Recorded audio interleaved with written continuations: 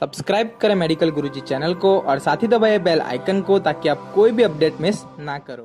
स्वागत है दोस्तों आप सभी का मेडिकल गुरुजी के एक फ्रेश एपिसोड में। मेरा नाम है नीरव आज के ये वीडियो में हम बात करने वाले हैं ईएसआर टेस्ट के बारे में ईएसआर इरेथ्रोसाइट सेडिमेंटेशन रेट अब ये टेस्ट क्या है, क्यों परफॉर्म किया जाता है, कैसे परफॉर्म होता है, सारी चीज़ें आपको ये वीडियो में बताने वाला हूँ। हो सके तो यहाँ पे वीडियो को अंत तक ज़रूर से देखें। ईएसआर इरेथ्रोसाइट सेडिमेंटेशन रेट दोस्तों, ये एक डायग्नोस्टिक टेस्ट है। यहाँ पे आज ये टेस्ट की मैं सारी इन्फॉर्मेशन आपको देने वाला हूँ। यहाँ पे मैं वीडियो को आगे बढ़ाऊं, उससे पहले अगर आप मेडिकल गुरु चैनल पे नए हो वीडियो को पहली बार देख रहे हो, अगर अभी तक आपने चैनल को सब्सक्राइब नहीं किया है तो नीचे आपको एक रेड कलर का सब्सक्राइब बटन देखेगा उसे प्रेस करके बेल आइकन दबा दीजिए, ताकि आप कोई भी अपडेट मिस ना करो। ऐसे वीडियोस के साथ ट्यूसडे थर्सडे एंड सैटरडे आता हूँ। आज सैटरडे है। आज हम बात कर ईएसआर टेस्ट के बारे में। दोस्तों यहाँ पे ये एक डायग्नोस्टिक टेस्ट है। कैसे परफॉर्म होता है, उसके बारे में थोड़ी इन्फॉर्मेशन सबसे पहले मैं आपको देता हूँ। जैसे कोई एक नॉर्मल ब्लड टेस्ट परफॉर्म होता है, वैसे ही ये टेस्ट को परफॉर्म किया जाता है। हाथ के कोई हिस्से से यहाँ से या फिर यहाँ से या फिर ज्वाइंट से ब्लड सैंपल कलेक्ट किया जाता है और फिर उसे लैब में भेजा जाता है। यहाँ पे पेशेंट का काम जो है वो खत्म हो जाता है। पेशेंट को कोई इतना पेन होने के चांसेस वैसा कुछ भी यहाँ पे नहीं है। सिंपल सा एक ब्लड टेस्ट है।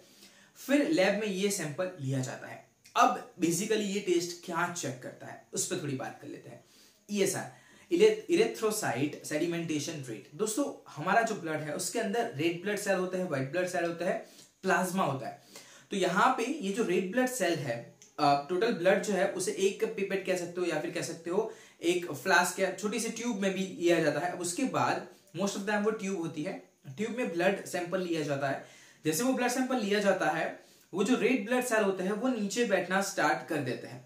तो वो जो नीचे बैठने का टाइम है, वो कितना है, वो ये टेस्ट से बेसिकली पता चलता है। ये सारे टेस्ट हमें ये पता चलता है कि रेड ब्लड सेल को नीचे बैठने में कितना समय लगता है।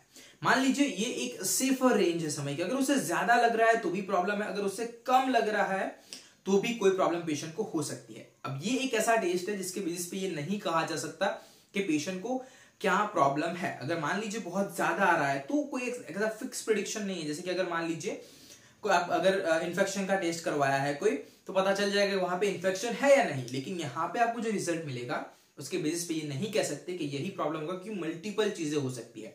आगे कुछ एक एग्ज़ाम्पल मैं आपको दूँगा। तो यहाँ पे बेसिकली मान लीजिए वो सेफ़ रेंज से बहुत ज़्यादा है, ये सब बहुत ज़्यादा है। इसका आसान भाषा में क्या मतलब निकलता है? कि जो रेड ब्लड सेल है, उसे बैठने में ज़्यादा समय लग रहा है, नीचे बैठने में। अगर ऐसा है तो बॉडी में कहीं पे इन्फ्लेमेशन का प्रॉब्लम है, सुझाव है, अब वो आर्थराइटिस की वजह से हो सकता है, वो इन्फेक्शन की वजह से हो सकता है और काफ़ी सारे ऐसे प्रॉब्लम्स है। इसके बारे में कोई एक डॉक्टर आपको अच्छी इन्फॉर्मेशन दे सकता है। अगर उसे बहुत ही कम समय लग रहा है तो भी कोई ब्लड रिलेटेड डिज़ीज़ हो सकता है। अब यहाँ पे मान लीजिए, अगर आप रेंडमली करवाते हो, कोई दिक्कत नहीं है, फिर भी करवाते हो तो अगर थोड़ा कम ज़्यादा आता है तो इतना ज़्यादा मेजर कह सकते हैं कि रिस्क नहीं है मैटर्निटी लाइफ में भी ये बढ़ता कम रहता बढ़ता है, कम होता है। तो वो इतना रिस्क मैटर नहीं है, लेकिन अगर बहुत ज़्यादा आ रहा है तो आर्थराइटिस इन्फ्लेमेशन या फिर आप कह सकते हो कि कोई इन्फेक्शन जैसे प्रॉब्लम हो सकती है, आप उसके लिए फर्दर डायग्नोसिस करने पड़ सकते हैं। तो ये सारी बातें हो गई ईएसआर टेस्ट के बारे में। अब जो फाइनल है चीज़ की, ये टेस्ट कैसे परफॉर्म होता है? क्योंकि अब ऐसा तो होगा नहीं कि कोई ट्यूब को ऐसे पकड़ के खड़ा रहेगा कि भाई हाँ ये बैठे, दिखता रहेगा उसे। ऐसा तो बिल्कुल नहीं होगा। तो बेसिकली ये इसका जो मशीन है, वो भी बहुत ही सिंपल फंक्शनलिटी पे काम करता है। इंफ्रारेड वेव्स पे काम करता है। ट्यूब्स को अंदर रख दिया जाता है।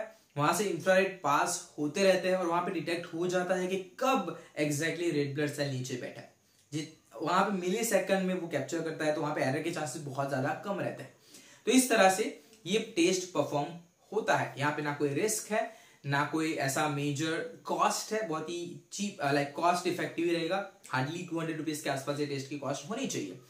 ज़्यादा भी हो सकती है, कम भी हो सकती है डिपेंड करता है आप कहाँ पे टेस्ट को परफॉर्म करवा रहे हो। तो ये सारी बातें जो मैंने आपको बताई, वो बताई ईएसआर टेस्ट के बारे में इरेथ्रोसाइट सेडिमेंटेशन रेट अगर आपको ये सारी इन्फॉर्मेशन पसंद आई है, अगर आपको लगता है कि आज आपने कुछ नया सीखा है तो एक लाइक ज़रूर से करो।